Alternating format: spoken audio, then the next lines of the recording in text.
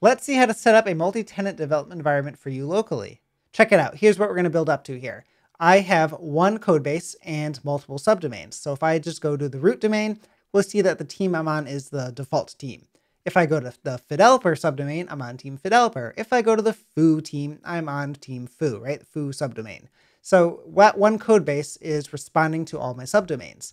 This is something that is common in production. What we want to do in this video is check out how to do it locally so you could develop the application as you need to. So let's go ahead and see how to set this up. Okay, so I'll assume you have Brew installed here. If you do not have Brew, uh, go get it. If you don't want to use Brew, use something else. Docker, it doesn't matter.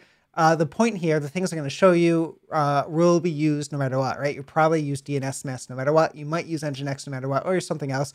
But the uh, configuration I show you um, can be done in anything like Traefik or Caddy, all those other servers. So don't sweat it if you're not using the exact same technologies. Okay, so the next thing I want to show you real quick is that if we head to the browser and go to localhost, you'll see that I just don't have any web server running at all. Like I said, it's a virtual machine. It's a completely fresh install except for a few tools that I wanted here, and we are basically starting from fresh. I also wanted to quickly mention that I'm using PHP here. I am a Laravel developer primarily, so I'm going to use PHP. But if you're not using PHP, that's okay. If you are, here is just a quick thing I did to show you how to install PHP with Brew. The first thing we're going to do is brew tap uh, Shiva Mathir. I'm sorry, I'm not pronouncing that right. Uh, slash PHP, but that is a good tap, a cask, whatever Brew uses. To uh, get PHP, you can install multiple versions and all that good stuff, and it includes PHP FPM and Apache if you want it, but we're not using Apache. So we're going to brew tap it. That's going to set it up so we can uh, install PHP from this repository. And then we just go ahead and run brew install, and then the same repository name, it's PHP slash PHP, and we can do at 8.2 because PHP 8.2 is the latest version as of this recording. So we'll go ahead and install that.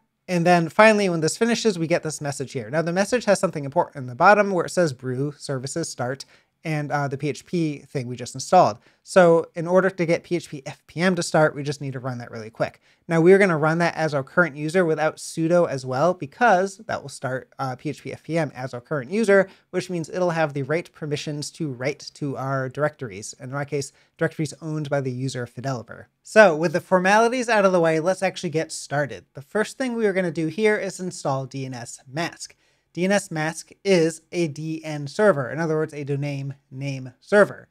What this lets us do is map a host name to an IP address.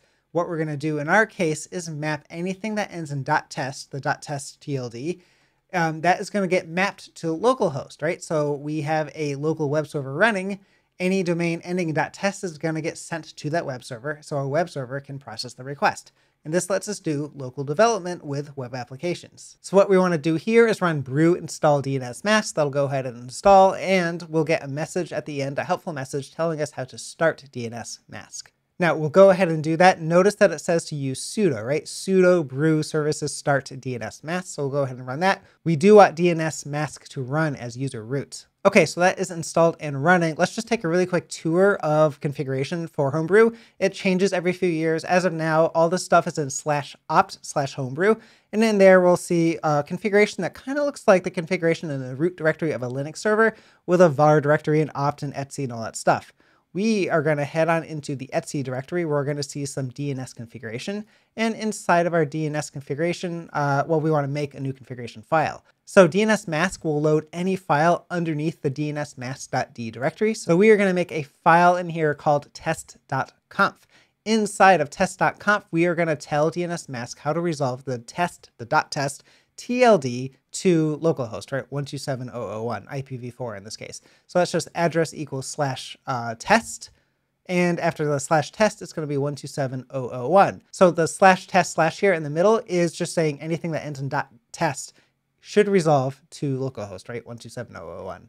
So we'll save and quit that, and then we can restart to brew, right? So we'll do sudo brew services restart dnsmasq, and that'll do it.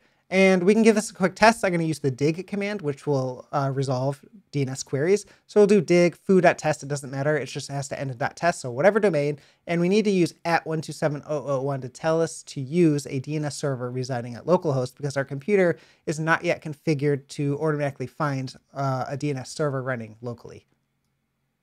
All right, so that did it. We can see the answer section has 127001. Perfect. Okay, so what we need to do next is get the computer to resolve, to use dnsmasq to resolve DNS in addition to our usual DNS servers that it might be using. So we will create a new directory called etc resolver under uh, sudo with sudo, so the root user. And inside of that directory, we're going to create a file called test. Inside of there, we're going to say name server 127001. And that is going to tell the computer to also use the name server at localhost to resolve domain names to IP addresses, right? DNS resolution.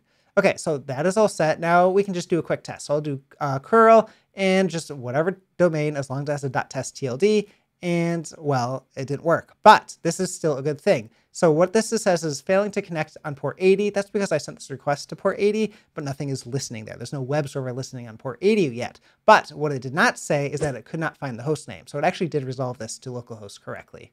Just as proof, we're going to use the dig command to query our computer, and we don't have to use at 127001 to tell it to look at localhost. It should just work. So we'll dig foobar.test, and we get a result, right? It says in the intersection that the answer to our DNS query is localhost 127.0.0.1. Perfect.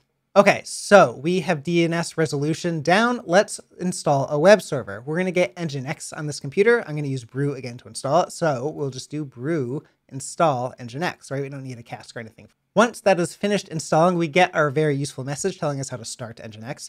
In this case, we want to run Nginx as our current user, which is user Fideloper for me. So we're not going to use sudo when we do that. So it's just brew services start nginx. Note that nginx says it's going to start up by default listening on port 8080. So if we make a quick curl request to 8080, we'll see that it actually is not working. So we just need to start nginx. So brew services start nginx with no sudo. We're not running this with sudo because we want it to run as user Fideloper. In other words, our locally running user here, so that it has permission to read, and I don't think it'll write to any files here, but to read files that we want it to. Once that's started, we can do another curl request to port 8080 at localhost and see that it responds, right? So Nginx is running. We'll take a quick look at our configuration here. We see in opt homebrew in the etc directory, we have a bunch of stuff, right?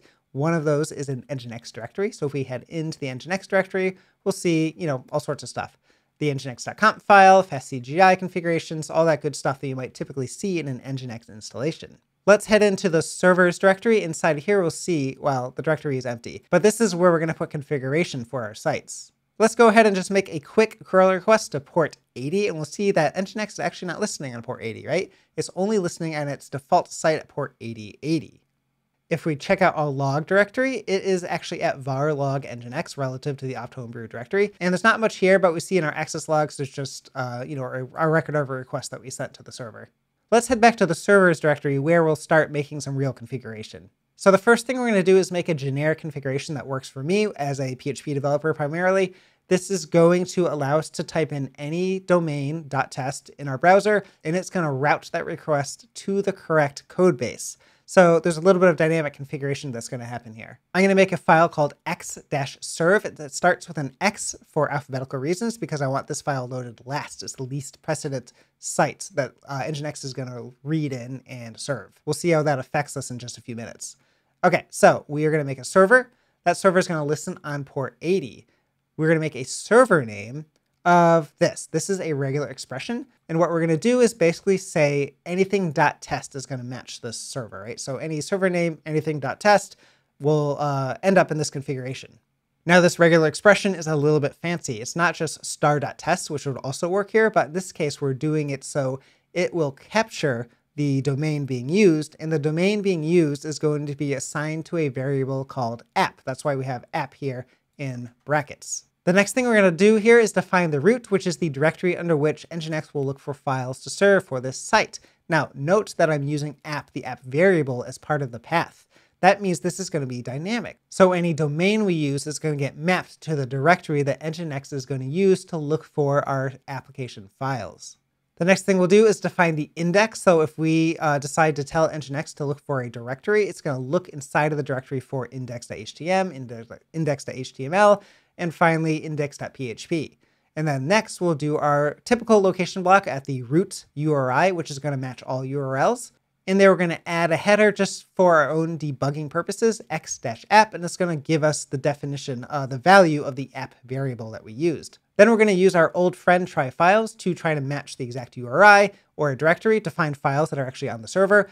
If it doesn't find those, it'll fall back to the slash index.php file. In other words, we're going to say, hey, if you don't match, if you don't see an actual file on the server in the directory you're looking at, just send this to our application and the application will handle the web request. So that's done. The next thing we need to do for our PHP application is to make a relocation block to handle the case when index.php is the file that's being used.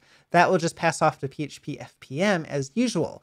In our case, PHP FPM is listening on port 9000 at localhost, so that's what we're going to do for the fastCGI pass parameter. We have fastCGI index just to say, hey, if you don't know what uh, PHP file to serve, it's just index.php.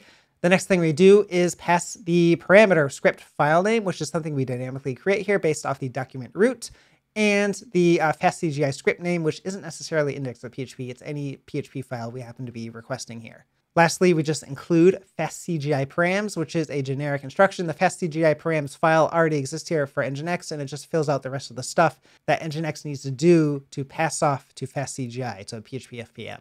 Okay, so we updated our Nginx configuration. Let's run nginx-t to test that configuration. And since that's passing, we can run nginx-s reload to reload nginx without downtime um, so that it will read in that new configuration and you know let us serve it. Okay, so we should have a server running at localhost port 80 now. Let's go ahead and do a curl request. We do that and we see file not found. Now, again, this is an error, but it's good. It means we uh, are serving Nginx. Nginx is doing its thing and it's passing it off to PHP FPM, but PHP FPM is like, I don't know where that file is. We didn't make that file, right? It's looking in the right place, but the directory that it's looking in does not exist yet. So let's head back to our serve directory. We're going to make a fid directory in that, and inside of fid it's going to be a slash public directory, so fid slash public. Now remember, the document root, the root, uh, has a public directory in it. Inside of that public directory, we're going to create an index.php file. And all that's going to do in our case is just spit out PHP info. So we can save and quit that and try to serve it. Before we do that, I just want to check out the Nginx configuration one more time and just review. Now our app name is going to be fid, right? We made a directory named fid. So the domain we need to use to reach it is fid.test. That is going to look in users Fideloper serve app public for that index.php file. So let's head over to Safari and then we can type in fid.test and we'll see that it loads our site. We get the PHP info page. Okay, so we created a generic configuration that works for our kind of just regular PHP apps. I want to create a setup that's going to work for a multi-tenant app, right? One that's going to uh, respond to any subdomain that I use. So I'm going to make a configuration specifically for our site. I'm just going to call it my app.test and we'll see how we do it. Let's go ahead and make a new file. It's going to be a-serve because I want this file loaded first. And this file is actually empty, so let's just back out of this and we're going to copy the old configuration into our new configuration. So we'll, uh, you know, copy the x-serve to a new file. We'll rename that a-serve, and then we have a place to start from.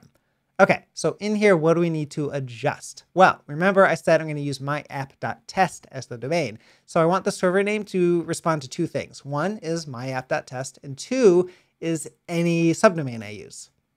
This will look still pretty familiar. So we'll just add myapp.test, and then we're going to adjust that regular expression to uh, respond to anything uh, that ends in .myapp.test. But in this case, instead of the app variable, we're just going to rename that variable tenant. So we'll uh, search or we'll assign the value of that to the variable tenant. And then we can update our root just to uh, always go to the my app directory because that doesn't need to be dynamic anymore. And then we will adjust our header so it's x tenant instead of x app. We'll give it the value of the variable tenant instead of app because app doesn't exist anymore. And then we can, just for fun, send a fastCGI parameter called tenant with the value of that tenant variable to PHP. So our server superglobal in PHP will have the value of the tenant as well. Although if we didn't have that, PHP could still just search for the domain being used to access the site in order to get that subdomain. This though is just a little simpler. Okay, let's save and quit that. We're going to do our nginx-t to test it, and then we can do nginx-s reload, uh, assuming our test passed, which it did, and that'll reload the configuration, and then we can test out this site configuration. Now, of course, we need to make the directories for my app. So we'll head to the serve directory, we'll create a my app slash public directory, and in there we'll create an index.php file. So in this index.php file is just some stuff. We're just going to spit out the tenant, right? So we're going to search within the server superglobal for tenant, if it is empty, we're just going to name the tenant default. Otherwise, we get the value of the tenant. And then we just say the tenant is whatever the tenant happens to be. Let's head on over to our browser. We'll see that the domain myapp.test is just my default, right? The tenant is default. We can test out a subdomain. I'm just going to do foo.myapp.test and we can see the tenant is foo. We can try bar also. The tenant is bar. Perfect. Super quickly, for anyone not using PHP, you might need your Nginx configuration to proxy to an HTTP-based application instead of PHP's uh, FastCGI, right, PHP FPM. So here's what that configuration looks like. In the first case here, we have uh, the same setup that allows for a multi-tenant setup, except you can see the try files is a little different, right? It sends requests to this thing called app, and there's a location at app which proxies over HTTP to some other location, right? In this case, it is a application that might be listening on localhost at port 8000. We have a second option here also for a more generic setup that maps to an application running in some specific directory, exactly like PHP setup, except we're proxying over HTTP instead of to fastCGI to PHP FPM, right? With the same setup, we have this named location block called at app, and we're proxying to that. All right, that is basically it. We are all set with local development and a multi-tenant setup. I just have one last note. If you are a Laravel PHP developer, you might want to try out Laravel Herd. Laravel Herd basically does all the stuff we just did, except you just install this one thing, and that is basically it. Laravel Herd will package up PHP and Nginx and dnsmasq and all that stuff for you, so that you don't need to install it yourself. So if you want to install it, you can head on over to the website, click download for macOS. We'll download it, we'll open it up, we will drag it over to our application directory and then find it wherever it is in our application directory and of course open it. Once it's open, we can click let's get started and it downloads PHP and the stuff it needs to. And then we can click automatically launch herd on system startup and let's get started. This is going to open documentation for it. We don't really need or want that right now. So let's just head back over to the terminal and check out what we just did.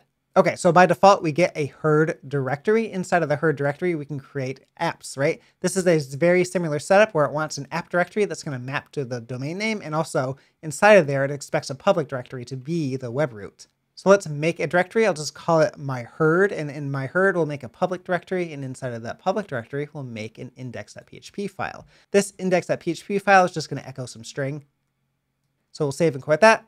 We can head into our my app directory and do herd open, and that will open our browser and load the site. And great, it works. Now, the last thing we want to test here is actually subdomains, right? So let's go in here. We'll just enter in sub whatever.myherd.app, and we'll see that it works. It still goes to the same code base, right? It still goes to the same index.php file. So wildcard subdomains here work just fine out of the box without doing any of the stuff that we just spent all that time configuring manually. So Laravel Herd is a great option if you want to do this without having to configure any stuff on your computer. Okay, so I hope this was really helpful for local development. Keep your eyes peeled to this channel because I'm going to be doing some more videos about Nginx and server setup for this configuration in production, right? For a multi-tenant setup. So I'd really appreciate it if you hit that subscribe button and keep your eyes peeled for future videos.